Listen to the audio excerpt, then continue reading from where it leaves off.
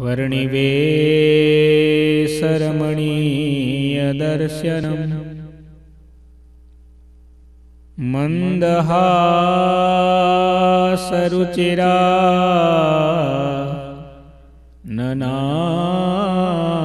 मन्दहासरुचिरानम्बुजं पूजितं सुरनरोत्तमे सुरनरोत्तमेर्मुदा धर्मनन्दनमहं विचिन्तये। ॐ अवतारिणे श्रीस्वामिनारायणाय नमो नमः। श्रीसहजानन्दाय नीलकण्ठाय च नमो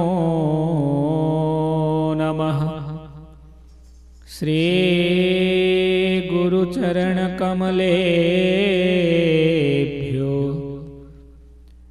નમો નમઃ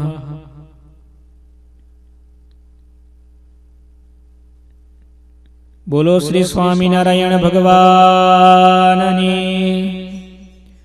શ્રી હરે કૃષ્ણ મહારાજની શ્રી ઘનશ્યામ મહારાજની જય.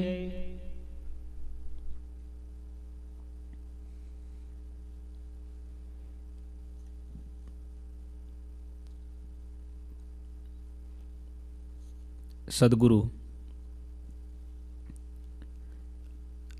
આધારાનંદ સ્વામી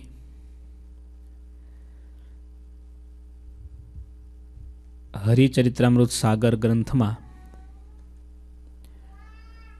પહેલાપુરના પંચાવનમાં તરંગમાં નોંધે છે,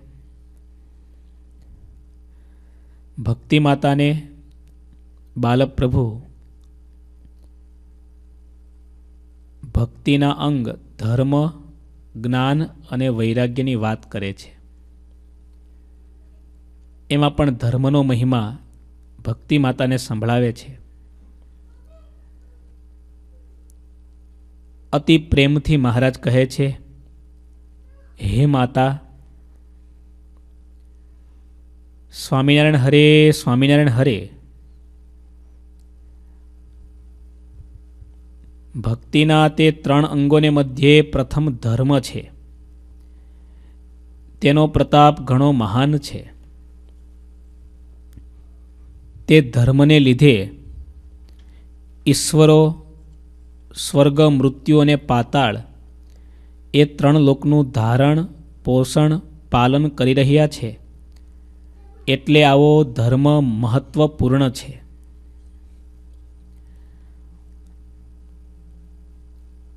મહારાજ એમ કહે છે, ધર્મ અતિ મહાન છે. દેવતાઓ, ઈશ્વરો આ બ્રહ્માંડનું પાલન, પોષણ અને ધારણ કરે છે. એના મૂળમાં જો કોઈ હોય તો ધર્મ છે. આગળ આપણે સાંભળ્યું હતું કે દીવો છે. એમાંથી નીકળતી જ્યોત બધાને દેખાય. એ દીવાનું કોડિયું, એની દિવેટ એ આપણને દેખાય. પણ એ દીવાની અંદર પડેલું તેલ એ આપણને દેખાતું નથી. પ્રકાશનું કારણ, એ ફેલાઈ રહેલી જ્યોતનું કારણ જો કોઈ હોય, તો અંદર પડેલું તેલ છે. જે દીવામાં તેલ ખૂટે, એ દીવાનો પ્રકાશ પણ એક દિવસ ખૂટે. નક્કી છે ને?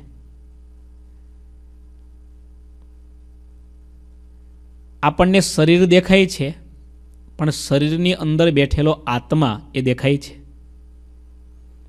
સમીર ભગતનું બોડી કેટલું મોટું દેખાય જો. એકવાર આંધળો હોય તો ખબર પડી જાય કે આ સમીર ભગત જ છે, બીજા ભગત નથી. ખ્યાલ આવી જાય. પણ આત્મા દેખાય છે. આત્માની જગ્યાએ શ્રીજી મહારાજે ધર્મને રાખ્યો છે. ઘણા ભક્તો, સંતો ક્યારેક ક્યારેક મહિમાની વાતો કરતા હોય. હા, ત્યારે વચનામૃતમાં પણ વાત છે, કદાચ કંઈક વર્તમાનનો ભંગ થયો હોય. તો ભગવાનને પ્રાર્થના કરે, માફી માગે, પ્રાયશ્ચિત કરે, એણે કરીને એ પાપ ધોવાય છે. પણ એનો અર્થ એવો નથી થતો કે શાસ્ત્રોએ પાપ કરવાની છૂટ આપી છે. કારણ કે અંતે મહારાજ જાણે છે જીવ પ્રાણી માત્ર એ ગમે એટલો સાવધાન રહેશે, છતાં ક્યારેક કંઈક એનાથી ભૂલ થવાની જ છે. એ ભૂલને ધોવા માટે કંઈક પ્રાયશ્ચિત શાસ્ત્રમાં લખ્યા છે. ભગવાનને પ્રાર્થના કરે, ભગવાન પાસે માફી માગે. તો એ પંચ મહાપાપ છે એમાંથી પણ જીવનો છુટકારો થાય છે. મહારાજનો કહેવાનો આશય એ છે કે અંતે જીવે કરેલા પાપ છે, એમાંથી ભગવાન એને મુક્તિ આપે છે.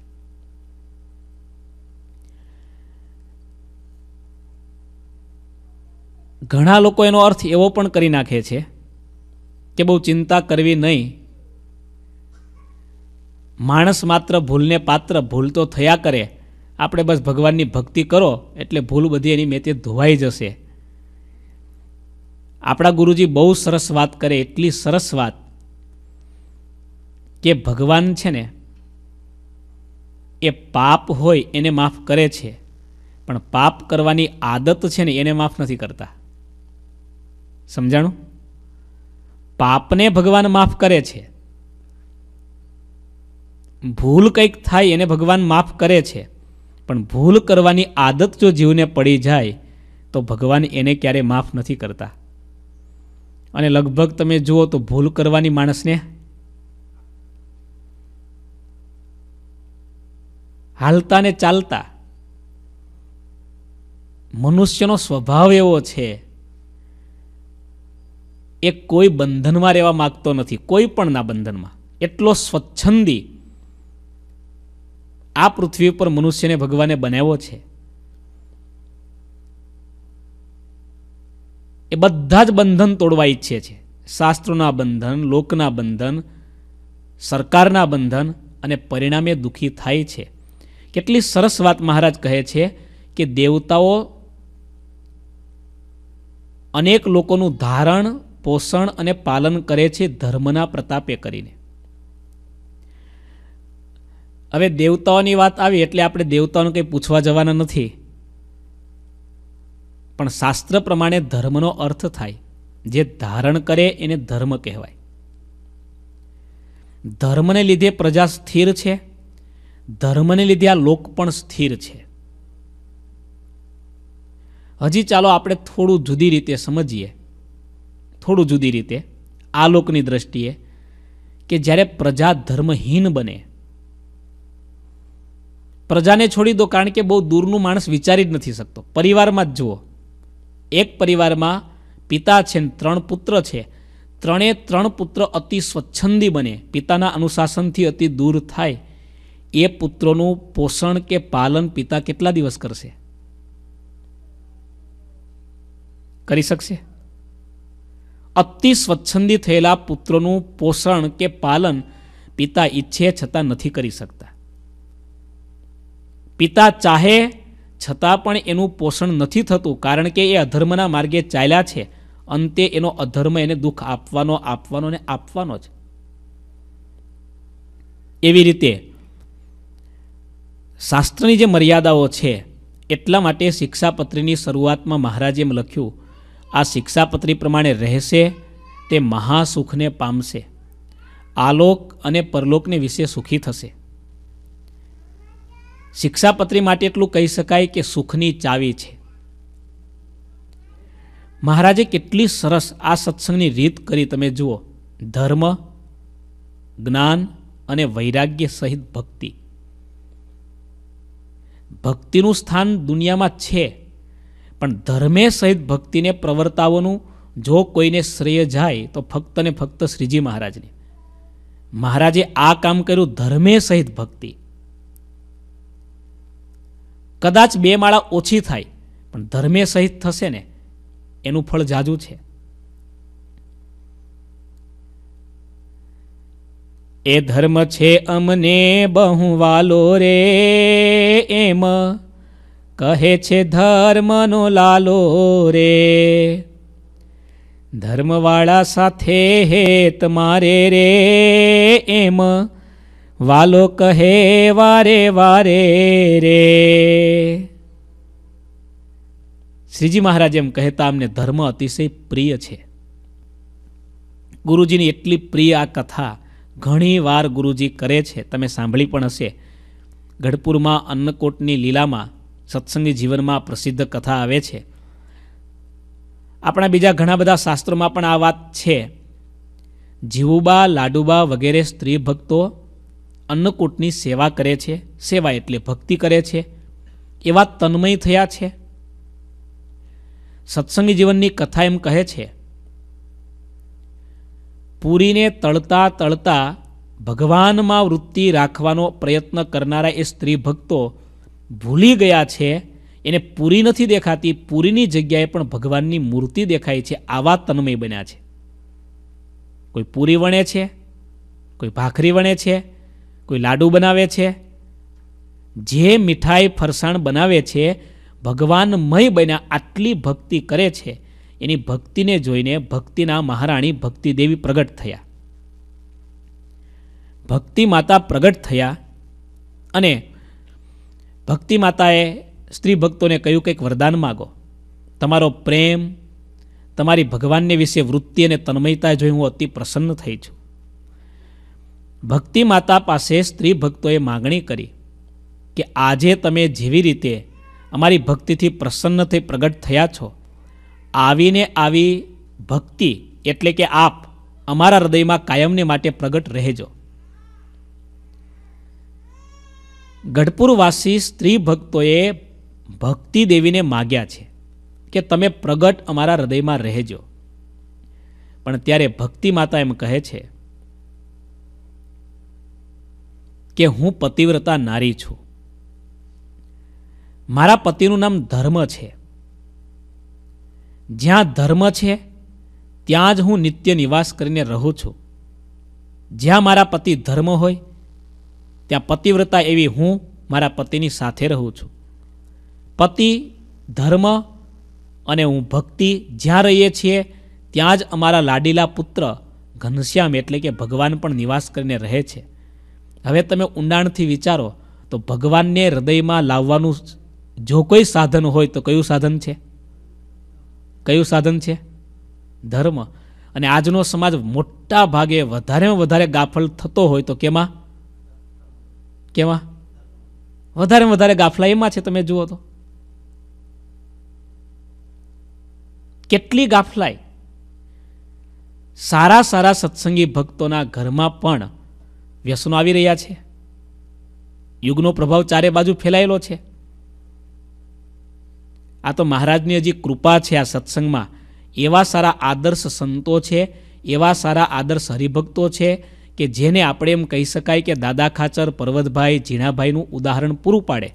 જીવબા લાડુબાનું ઉદાહરણ પૂરું પાડે. પણ શ્રીજી મહારાજે ધર્મની બાબતમાં એટલા માટે કવિ નાનાલાલ એમ કહે, ભગવાન સ્વામિનારાયણે ઉજળા પંથની સ્થાપના કરી. આ સ્વામિનારાયણ સંપ્રદાયનું સાહિત્યકારોએ આપેલું નામ. કયું નામ? ઉજળો પંથ. આમાં એટલી બધી ઉજળાશ છે. આમાં એટલી બધી સ્વચ્છતા છે. આમાં એટલી બધી ચોખ્ખાઈ છે. સ્ત્રી પુરુષોની મર્યાદા છે. ત્યાગી ગ્રહસ્થોની આખી રીત જુદી છે. સાધુને જોઈને ભાવ થાય. સાધુને જોઈને એના ચરણમાં બેસી જવાનું મન થાય. સવારે શ્રીજી સ્વામીએ બહુ સરસ વાત કરી હતી. સવારની કથા સાંભળનારા ભક્તો એને યાદ હશે.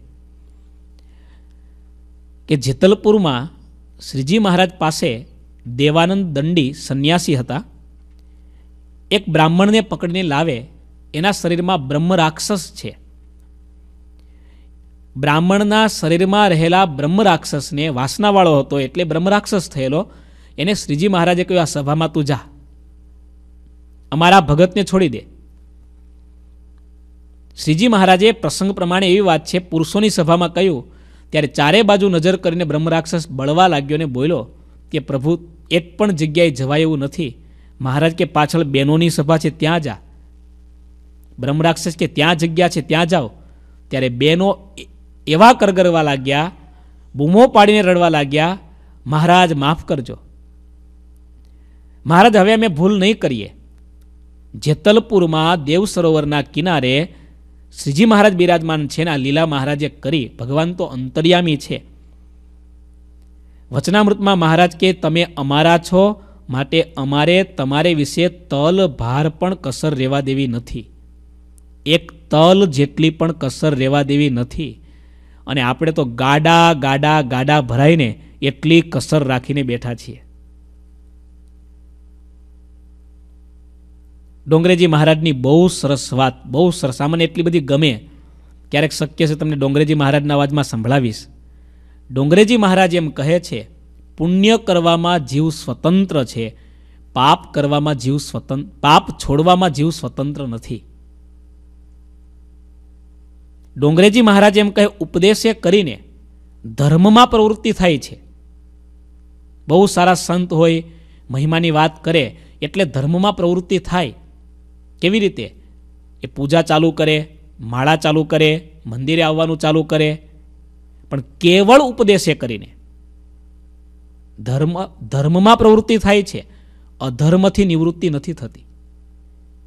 એક નાનું એવું પાપ પણ ભગવાનની કૃપા વિના છૂટતું નથી.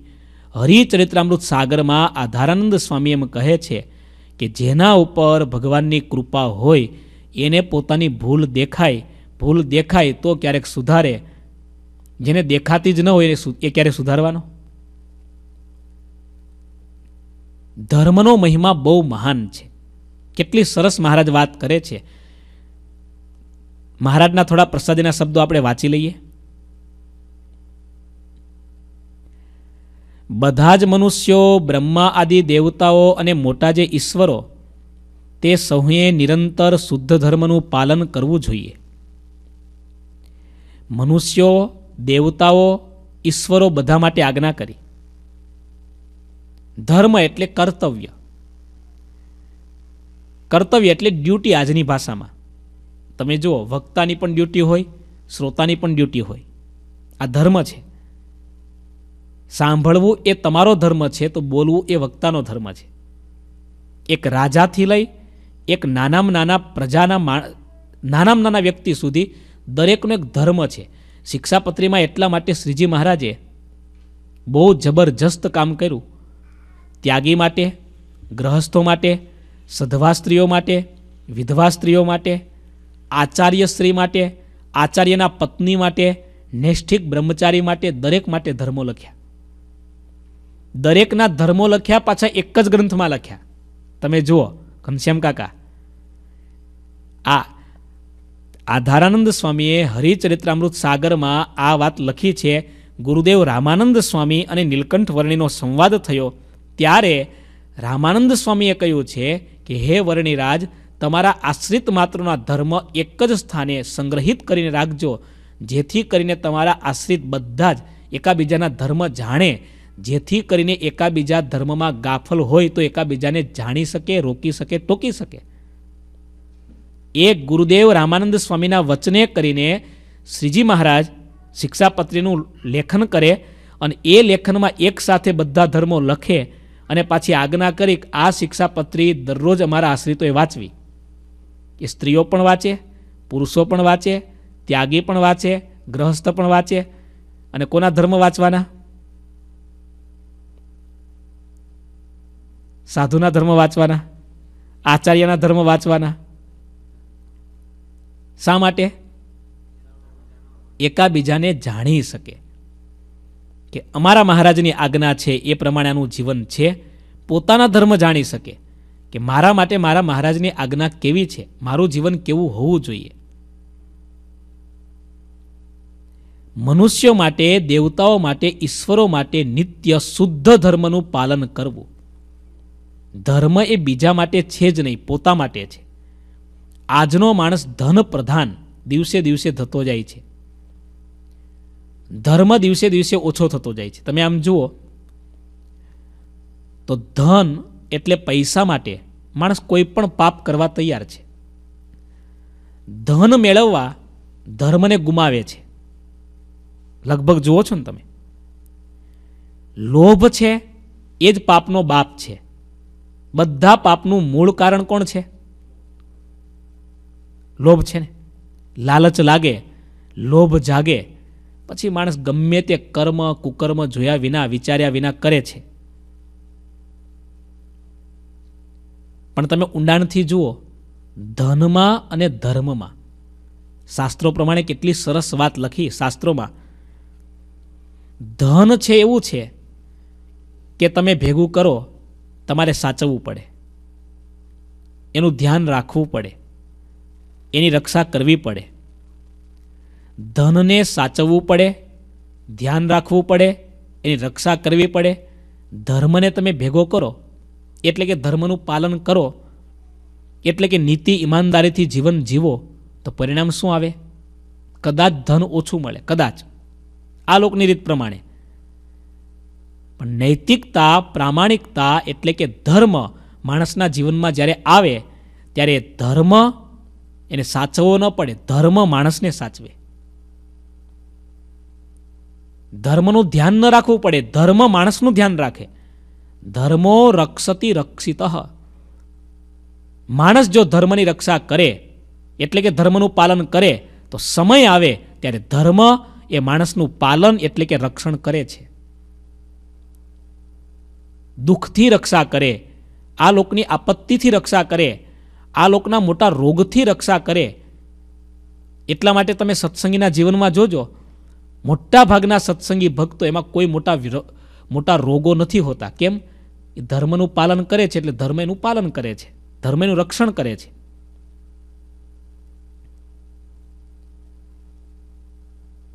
ધર્મ છે એ કળિયુગને વિશે એનું પાલન કરવું અતિશય અઘરું છે. બહુ અઘરું છે. હમણાં જ અમે ગુરુજી સાથે બેઠા હતા. એક દિવસ પ્રસંગ નીકળ્યો ધર્મની બાબતમાં. શાસ્ત્રો પ્રમાણે એટલા માટે શ્રીજી મહારાજે ભક્તિનું પોષણ કર્યું. એટલા માટે શ્રીજી મહારાજે ભક્તિની રીત આ સત્સંગમાં વિશેષ પ્રવર્તાવી. એટલા માટે શ્રીજી મહારાજે ભક્તિને પ્રધાન રાખી. કારણ કે મહારાજ જાણે છે કે ધર્મ કળિયુગને વિશે જેટલો શાસ્ત્રમાં કહ્યો છે એ બધો જ સ્વીકારવો એ અતિશય કઠણ છે. શાસ્ત્રોમાં તો કેવી કેવી મર્યાદાઓ કરી છે.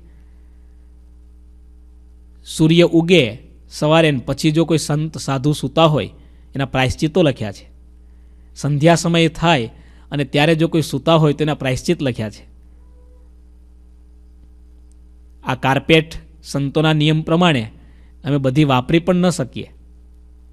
એટલા માટે આપણા સંતો જુઓ ઠાકોરજીનો સ્પર્શ કરે, સોળે થાય, તે કોઈને અડે નહીં. તમે જોયું? કોઈને નહીં, તમને નહીં. આ કાર્પેટ પર પણ ન આવે. કોઈ કપડાને પણ ન અડે. હવે તમે જો આ રીતે ઘરમાં પૂજા ચાલુ કરો તો?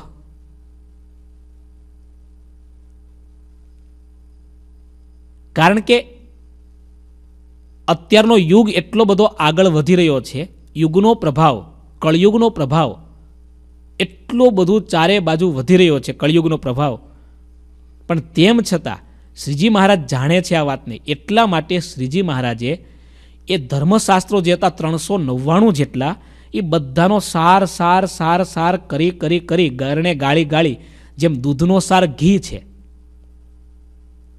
તમે એક ચમચી ઘી પીવો, એમાં કેટલું દૂધ આવી જાય? એમાં કેટલી એનર્જી આવે, કેટલી સ્પિરિટ આવે? દૂધનો સાર ઘી છે. એમ શ્રીજી મહારાજે આપણને શિક્ષાપત્રી રૂપી સાર એટલે કે અર્ક બધા શાસ્ત્રનો આપ્યો. એમાં એટલા સરસ ધર્મો મૂક્યા, ટૂંકા ધર્મો મૂક્યા. કળયુગમાં આવનારા દિવસોની કોઈ પણ વ્યક્તિ એ ધર્મનું પાલન કરી શકે એટલા સહજ અને સરળ ધર્મોનું મહારાજે પોતે આલેખન કર્યું. શિક્ષાપત્રની એક પણ એવી આજ્ઞા નથી જે કોઈ એમ કહી શકે કે આ ન પાળી શકાય. છે એવી આજ્ઞા? આ ધર્મશાસ્ત્રોની વાત બહુ વિસ્તારથી છે. આ સંતો સોળે થઈને જે સેવા કરે છે, આ ધર્મશાસ્ત્રની વાત છે. એટલે મહારાજે એ સાધુ માટે રાખી, તમારા માટે ન પ્રવર્તાવી.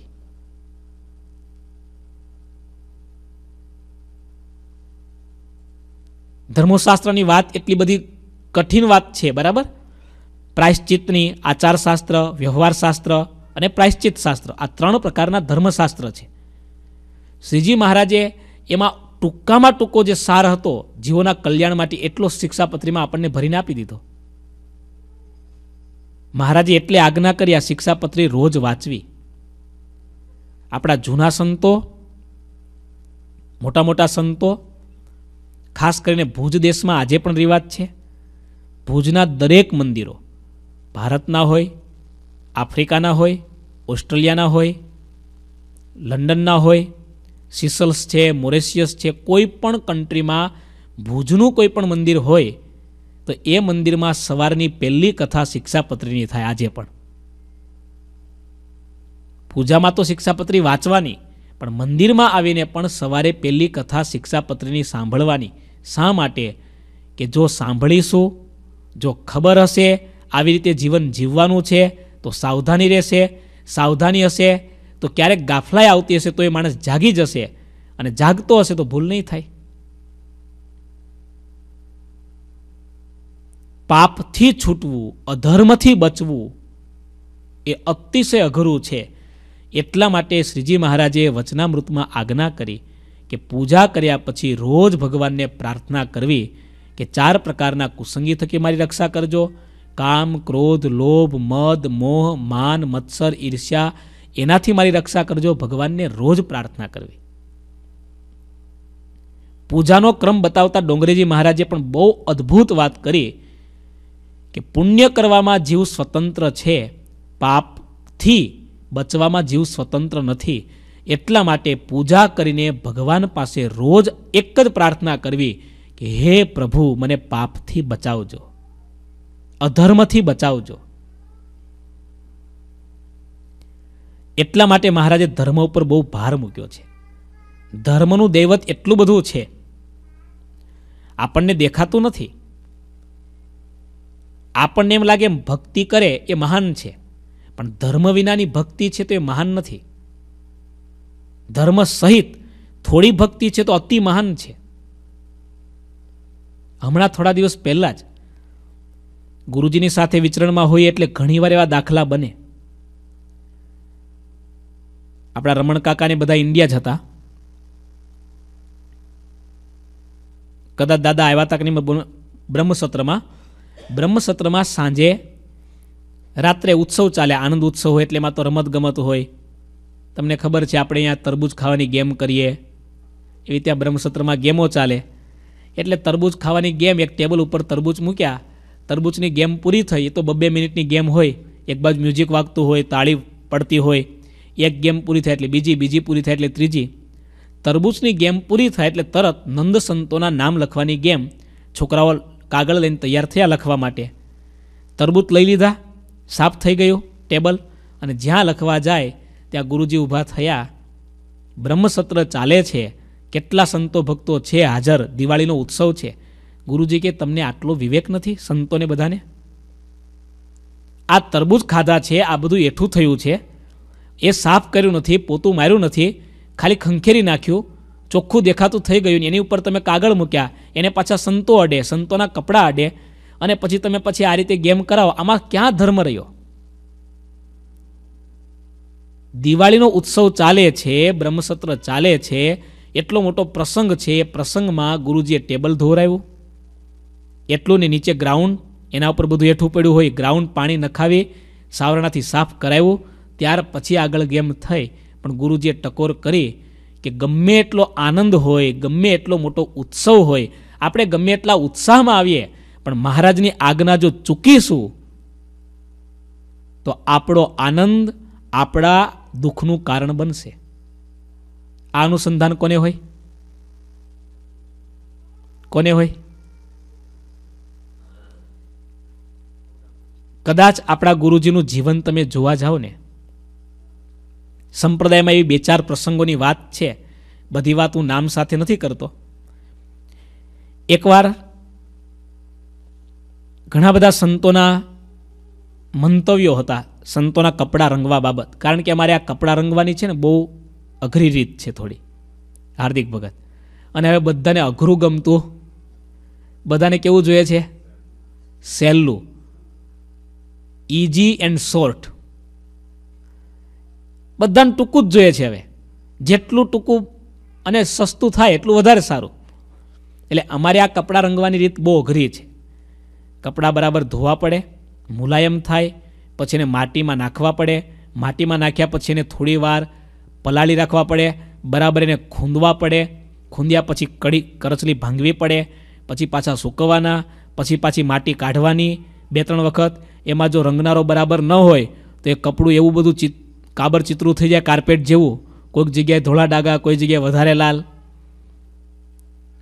એટલે સંતોમાં ચર્ચા થઈ કે હવે યુગ આટલો બધો આગળ વધી ગયો છે. તો આપણે એક કામ કરીએ. મૂળ તો ભગવાનની આજ્ઞા છે, ભગવા કપડાં પહેરવાની. પછી કલરથી રંગીએ કે માટીથી રંગીએ એમાં ફેર શું પડે. સંતોએ સેમ્પલ પણ બતાવ્યું કે આ સેમ્પલ એવું છે કે મિલમાંથી અમે રંગાવ્યું આપણા કપડાં જેવું જ લાગે, ભગવા કપડાં જેવું જ. એટલે સંતો કહે કે, લોકોને ખબર પણ ન પડે. સમજ્યા તમે? લોકોને ખબર ના પડે કે આ માટીથી રંગ્યા છે, કલરથી રંગ્યા છે. અને આપણે બહુ સરળ થઈ જાય, કંપનીમાંથી સીધું કાપડ રંગીને આવી જાય. સંતોમાં ચર્ચા ચાલે છે. મોટા મોટા સદગુરુ સંતો બેઠા છે. ગુરુજીએ શું કહ્યું? મને યાદ છે. ગુરુજી કે આપણે લોકોને છેતરી શકશું, પણ ભગવાનને નહીં ખબર પડે.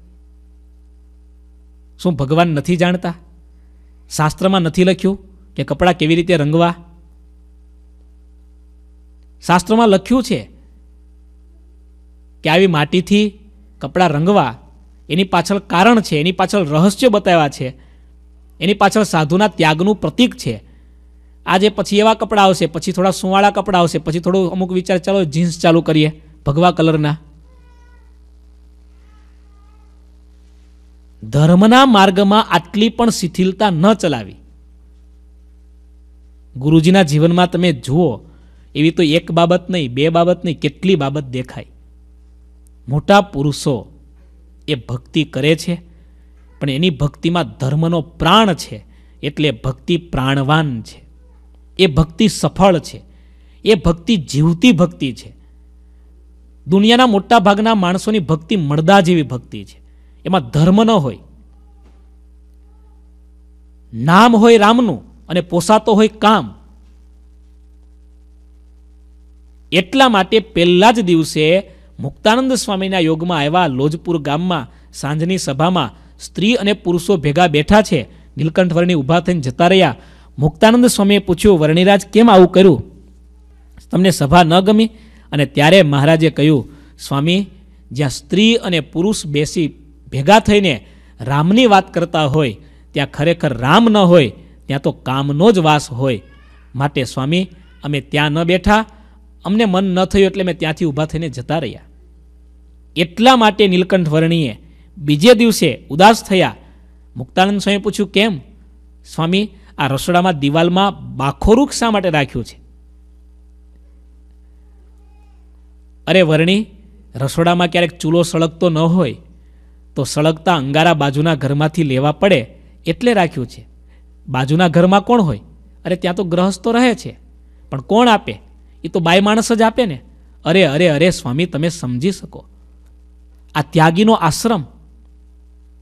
અને ત્યાગીના આશ્રમમાં રસોડામાં આ બાખોરું અને એ બાખોરા દિવાલના કાણામાંથી સામેથી બાય માણસ અંગારા આપતા હોય. શું આ અંગારા ક્યારેક ત્યાગીઓના ત્યાગને આગ નહીં લગાવે? આમાંથી કેટલા ત્યાગીઓના જીવન ભ્રષ્ટ નહીં થાય? નીલકંઠ વર્ણિની પહેલા જ દિવસની એક એક ટકોર તમે જુઓ. સ્ત્રી પુરુષોની સભા છૂટી કરી. દિવાલમાં બાખોરું હતું, કાણું હતું, એ મહારાજે પુરાવ્યું. શ્રીજી મહારાજ આ કામ કરવા પૃથ્વી ઉપર પ્રગટ થયા. એ મહારાજને વરેલા મોટા મોટા સદગુરુ સંતો એ પણ આ કામ કરવા માટે આ પૃથ્વી ઉપર પધાર્યા. એટલા માટે શ્રીજી મહારાજ પોતાની મા ભક્તિને સૌથી પહેલાં એમ કહે છે, ભક્તિનું પહેલું લક્ષણ, ભક્તિનું પહેલું અંગ, ભક્તિનું શ્રેષ્ઠ અંગ છે ધર્મ. એ ધર્મ અતિ મહાન છે. દેવતાઓ, માનુ, મનુષ્યો, ઈશ્વરો, સહુ કોઈએ ધર્મનું પાલન કરવું જોઈએ? ધર્મ કેવો છે? કેમ જે ધર્મ અતિશય આચરણ કરવા યોગ્ય છે? એવું જ ધર્મનું દેવો ઈશ્વરો વગેરે સમર્થન કરનારા છે. ધર્મની નિયમ પાલનથી જ મોટાઈ કહી છે. જો કોઈ ઉતરતા કુળનો મનુષ્ય ધર્મ પ્રમાણે આચરણ કરે, તો તે બ્રહ્માદિક દેવતાઓએ પણ પૂજવાને યોગ્ય થાય છે, તેમજ વારંવાર પ્રશંસા કરવાને યોગ્ય થાય છે. આધારાનંદ સ્વામીના મૂળ શબ્દો ધર્મ કુસમરથ કિયે હે એસે. ધર્મ નિયમ કે બળતા તે સે ઉતરતે કુલ કે જનહી જેતે ધર્મ કુરખે જીતને ઉતે તે. કુળ ઉતરતું હોય. શબ્દો સાંભળજો. ઉતરતે કુલ કે જનહી જેતે. ધર્મ કુરખે જીતને ઉતે તે કુળ ઉતરતું છે, પણ ધર્મને રાખે છે ને, તો કેવો છે? બ્રહ્માદિક દેવતા કુતાહી. પૂજને જોગ્ય હોવત હે તાહી. બખાન કરને, જોગ્ય હિતે હોવત હે બેર બેર હિ બ્રહ્માદિક દેવતાઓ પણ પૂજન કરે, એવો એ વ્યક્તિ મહાન બની જાય છે. કોઈ સાહિત્યકારે બહુ સરસ વાત કરી છે. મહાત્મા ગાંધીનો સર્વોદયનો સિદ્ધાંત છે. એટલે કે બાપુ એવું ઈચ્છતા કે આ સમાજને સુખી કરવો હોય તો એક જ રસ્તો છે, જ્યાં અછૂત, આભડછેટ, એકાબીજાની ભર્સના, એકાબીજાને ધિક્કારવા, આ દૂર કરવું પડશે. જ્યાં સુધી માણસ માણસ વચ્ચે આટલી મોટી દિવાલો હોય, ત્યાં સુધી સમાજ કે માણસ ક્યારેય સુખી ન થાય. એટલે એમણે હરિજન નામની પત્રિકા બહાર પાડી.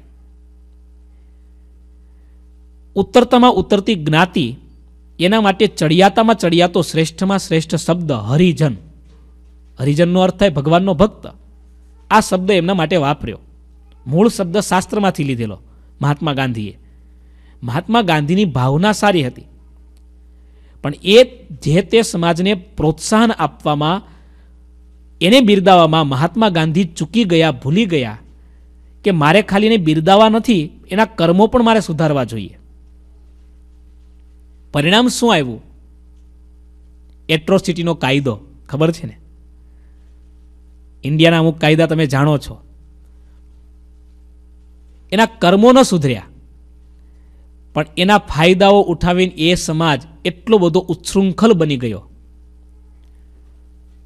સારો સમાજ હતો એટલો બધો દબાઈ ગયો. બીજી બાજુ, શ્રીજી મહારાજ પણ એવું ઈચ્છતા હતા કે સમાજમાં આ ભેદભાવ, સમાજમાં ઉચ્ચ નીચપણું એ સમાજને ક્યારેય સુખી ન કરે. એટલે શ્રીજી મહારાજની સભામાં કાઠી પણ હોય, કોળી પણ હોય, કણબી પણ હોય, મુસ્લિમ પણ હોય, શ્રીજી મહારાજની સભામાં જુઓ તમે. રતનજી, મિયાજી, શેખજી હતા. અરે સગ્રામ વાઘરી ગોવિંદ ભંગી. પણ શ્રીજી મહારાજે મોટામાં મોટું કામ શું કર્યું? મહારાજે વિચાર્યું કે હલકા માણસો હલકા કેમ રહે છે? હલકા માણસોને સમાજ શા માટે ધૂતકારે છે? એના કર્મો એવા છે ને? એટલે શ્રીજી મહારાજે એના કર્મો સુધાર્યા. એના કુકર્મો છોડાવ્યા. અને કેવા કુકર્મો છોડાવ્યા? ગોવિંદ નામનો ભંગી નાગર બ્રાહ્મણને ત્યાં જૂનાગઢમાં કામ કરે અને નાગર બ્રાહ્મણના ઘરની ઘીમાં વઘારેલી કઢી, લસણવાળી એના પત્ની જ્યારે આપે અને ત્યારે એ ગોવિંદ નામના ભંગીએ કહ્યું કે, રાજી રહેજો, તમારી કઢી મને નહીં ખપે. આટલું મહાન કાર્ય શ્રીજી મહારાજે કર્યું. આટલું મહાન ભંગી જેવા ભંગીને એના કર્મોથી બ્રાહ્મણોને પણ હલકા પાડી દે આટલા મહાન બનાવી દીધા.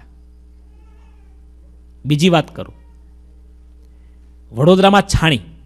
આજે પણ ત્યાં હરિજનવાસ છે. આજે પણ દોઢસો કરતાં પણ વધારે હરિજનોના ઘર છે. આજે પણ હરિજનોના ઘરમાં ત્યાં મંદિરો છે. ત્યાં બહુ મોટું મંદિર પણ છે. અમે હમણાં થોડા સમય પહેલાં પણ ગયા હતા. આજે પણ એ હરિજનોના ઘરમાં શ્રીજી મહારાજના પોતાના આપેલા પ્રસાદીના ચરણારવિંદ છે. છાણી ગામમાં. એ હરિજનોના કર્મો, એના આચાર, એના વ્યવહાર બ્રાહ્મણો કરતાં આજે પવિત્ર છે, બોલો. તેજાભાઈ વણકર, નારાયણદાસભાઈ, જેના કીર્તનો આપણે ગાઈએ છીએ, એ સજની ટાણું આવ્યું રે ભવજળ તરવાનું. આ બધા કીર્તનો નારાયણદાસના લખેલા. પણ એ નારાયણદાસ જ્ઞાતિ કઈ હતી એ કોઈ જાણતું નથી. પણ એનું જીવન ભગવાને એવું બનાવ્યું. જન્મના જાયતે શુદ્રહ કર્મણા દ્વિજ ઉચ્યતે, જન્મે ત્યારે જીવ પ્રાણી માત્ર એક જ સરખા શુદ્ર જેવા હોય છે, શુદ્ર જ્ઞાતિના જ હોય છે, શાસ્ત્રો એમ કહે છે. પણ જેમ જેમ એ આગળ કર્મ કરતો જાય, એમ એના કર્મના આધારે એની જ્ઞાતિ નક્કી થતી હોય છે. પણ આપણે તો જન્મથી જ જ્ઞાતિ માની લીધી. જન્મથી જ પકડી લીધું કે આ બ્રાહ્મણ. પછી ગમે તેવો હોય, શાસ્ત્રો પ્રમાણે રાવણને બ્રાહ્મણ કહેવાય. અને સબરીને, બોલો, ભીલડી કહેવાય ઉત્તરતી જ્ઞાતિની. લોકની દ્રષ્ટિએ ભીલડી છે, એ હલકી છે, અને રાવણ છે એ મહાન છે, શ્રેષ્ઠ છે. પણ ભગવાનની રીત ગમી નહીં. તો રાવણનું નામ આજે કોઈ જાણતું પણ નથી, કોઈ લખતું પણ નથી. અને સબરી નામે મોટા મોટા કુંભ ચાલુ થયા. ખબર છે? સબરી કુંભ ચાલુ થયો છે હમણાં ઇન્ડિયામાં. ભગવાનનો ભક્ત, એનું નામ છે ભક્તિ, જેમાં છે તે ભક્ત છે. પણ એ ભક્તિ, એનો પ્રાણ ધર્મ છે. મહારાજ એટલા માટે કહે છે, બ્રહ્માદિક જેવા મોટા દેવતાઓ એ પણ એનું પૂજન કરે છે. વારંવાર એને વખાણવા યોગ્ય થાય છે. એવા મોટા મોટા દેવતાઓ પણ એની પ્રશંસા કરે છે. કોની? જે ધર્મવાળો છે તેની. ધર્મવાળો કેવો હોય? બે ત્રણ દાખલા આપું ખાલી. પછી હજી તો બહુ વિસ્તારથી મહારાજ વાત કરે છે, આપણે આગળ સાંભળીશું. આપણા લોયા ગામના ઘેલા કોળી. કોળી જ્ઞાતિના એમાં દુકાળનો સમય છે. અતિ ગરીબ માણસ છે. ખાવા નથી મળતું. એવા સમયમાં મુક્તાનંદ સ્વામીની ભલામણથી સુરત જવા નીકળ્યા છે કે ત્યાં જઈએ કંઈક આજીવિકા મળે રોજી રોટી મળે. પતિ પત્ની બંને લોયા ગામના ઘેલા કોળી નીકળ્યા છે. ખાવાનું અન્ન જેને નથી મળતું, દુકાળ છે રોજી રોટી શોધવા માટે સુરત જાય છે અને એવા સમયમાં એણે જોયું, રસ્તામાં ચાલ્યા જાય છે, રસ્તામાં કોઈક વ્યક્તિનું સોનાનું કંઈક ઘરેણું જમીન ઉપર પડ્યું છે અને સોનાના ઘરેણાને જોઈ અને ઘેલા કોળીએ એના ઉપર ધૂળ નાખી દીધી. અરે પડી વસ્તુ કોઈની હાથે નવ જાલે રાજ. અક્ષરના વાસી વાલો આવ્યા અવની પર. નવખંડ ધરતીમાં સ્વામી, એ છતરાયા ચાલે રાજ. અક્ષરના વાસી વાલો આવ્યા અવની પર. કેવા જીવન હશે? કલ્પના કરી આપણે કેવા જીવન હશે.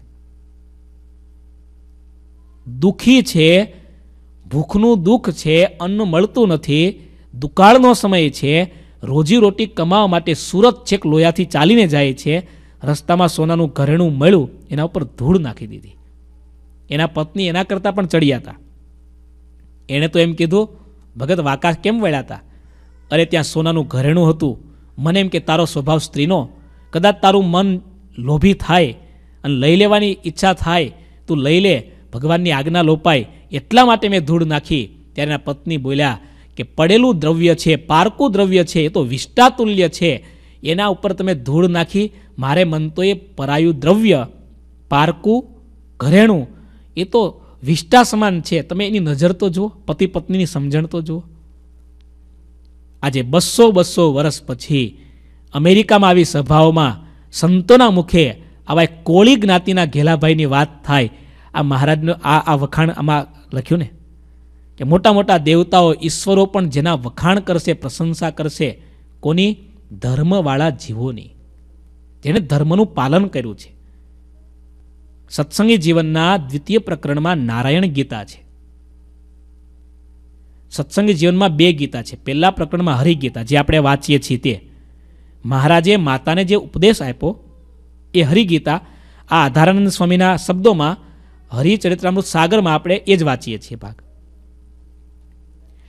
રામાનંદ સ્વામી ધામમાં ગયા, ત્યાર પછી શ્રીજી મહારાજ ગાદી ઉપર બેઠા મહાધર્મ સભામાં પહેલા જ દિવસે મહારાજે ધર્મની વાતો કરી એ નારાયણ ગીતા તરીકે કહેવાની એમાં મહારાજે એમ કીધું કે કદાચ મૃત્યુ આવે તો ભગવાનનો ભક્ત મૃત્યુને સ્વીકારે છે, પણ મૃત્યુના ડરથી પણ એ ધર્મનો ત્યાગ કરી અધર્મને સ્વીકારતો નથી. અને આજે તમે જુઓ તો છાસ વારે સમાજમાં તો કહેવત પડી ગઈ. કે વાકો ચંદ્ર છે ને એ જ પૂજાય. સીધો ચંદ્ર પૂજાય ને એટલે સમાજમાં થોડા વાકા થઈએ ને. સમાજમાં કહેવતો કેવી પડી? સીધી આંગળીથી ઘી ના નીકળે. ઘી કાઢવું હોય તો શું કરવું પડે? આંગળીને થોડી વાકી કરવી પડે. ઘણા બહુ આમ સહજ વાત કરતા સ્વામી, શિક્ષાપત્રી પ્રમાણે રહીએ ને તો દુકાનો બંધ કરી દેવી પડે. ચાલે નહીં આ ધંધા બંધા હાલો ભગવાનના ભક્તની સમજણ આ નથી.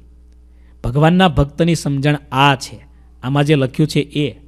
એટલા માટે શ્રીજી મહારાજ કહે છે, ધર્મ અતિ મહાન છે. મોટા મોટા દેવતાઓ પણ ધર્મનિષ્ઠ ભક્તની પ્રશંસા કરે છે, એને વંદન કરે છે, એનું પૂજન કરે છે. હજી મહારાજ સરસ આગળ વાત કરે છે. આપણે આવતીકાલે થોડી સાંભળીશું વાત. તમે બધા ભક્તો ખૂબ સરસ કથા વાર્તા રોજ નિયમિત સાંભળો છો. નિષ્કામ સ્વામી આ સાગર ગ્રંથની કથા બહુ સરસ ચાલુ કરી છે. ગુરુજીને અતિશય પ્રિય ગ્રંથ છે. સવારે શ્રીજી સ્વામી પણ એટલી સરસ કથા વાર્તા કરે છે. પણ આ કથા આપણે સાંભળીએ છીએ, પણ હવે થોડું આગળ વધીએ, આ કથાને યાદ રાખીએ. ક્યારેક સંતોને મળ્યા હોઈએ, કોઈક વાત ન સમજાણી હોય, તો સંતો પાસે બેસીને એની ચર્ચા કરીએ. કોઈક વાત અધૂરી સમજાણી હોય તો આપણે પ્રયત્ન કરીએ વાત પૂરી સમજાય. અને આ બધા શાસ્ત્રો તો એવા છે કે તમને નહીં, અમને પણ હજી નથી પૂરા સમજાતા. ભગવાનની વાણી છે ને? આ સમુદ્ર છે. એમાં જેટલા ઊંડા ઉતરો, જેટલા ઊંડા ઉતરો, એટલા કિંમતી રત્નો અંદરથી મળે છે. એમ આ શાસ્ત્રોને સાંભળીએ, સાંભળ્યા પછી એને સમજીએ, સમજ્યા પછી એને યાદ રાખીએ. યાદ રાખ્યા પછી પ્રયત્ન એવો કરીએ કે આપણા જીવનમાં, આપણા ઘરમાં, આપણા પરિવારમાં આવી રીતનો ધર્મ, એટલે કે એકાંતિક ધર્મ, જેનાથી શ્રીજી મહારાજ રાજી થાય, એવો ધર્મ જો જીવનમાં આવે, તો મહારાજ અતિશય રાજી થાય. આ લોકમાં જ એ ભક્ત અક્ષરધામનો મુક્ત થઈને વિચરણ કરતો હોય. આપણા ગુરુજીનું જીવન આપણે જોઈએ. એક નાનામાં નાની બાબતમાં એક નાન, એવી તો નિષ્કામ સ્વામી છે, શ્રીજી સ્વામી છે સુખસ્વામી છે આપણા બધા સંતો બ્રહ્મસ્વરૂપ સ્વામી વિજ્ઞાન સ્વામી બધા સંતો અનુભવ કર્યા છે. નાનામાં નાની બાબતમાં એક ટકા જેટલી બાબત હોય તો પણ ગુરુજી ક્યારેય ધર્મની બાબતમાં આઘું પાછું ન ચલાવે. એવા મોટા પુરુષો છે, એની ભક્તિ પ્રાણવાન છે, એવા ભક્તોની સાથે, એવા સત્પુરુષોની સાથે ભગવાન અખંડ છે. આપણે ભગવાનને ઈચ્છીએ છીએ, પણ ભગવાન જેણે કરીને આપણા જીવનમાં આવે, આપણી સાથે રહે એવી ધર્મે સહિત ભક્તિ એને આપણે નથી ઈચ્છતા. એ ધર્મે સહિત જો ભક્તિ કરીશું, તો ભગવાનને પણ આપણા હૃદયમાં આવવાનું મન થશે. સાત કડી સુધી આજે આપણે પ્રસંગ પૂરો થાય છે. આગળ આવતી કાલે વાંચીશું. બોલો હરિકૃષ્ણ મહારાજની જય. શ્રીપતિમ શ્રીધરમ સર્વદેવેશ્વરમ ભક્તિધર્માત્મજમ વાસુદેવમ હરે माधवं केशवं कामदं कारणं स्वामिनारायणं नीलकण्ठं भजे। हरिकृष्णमहाराजनी जय।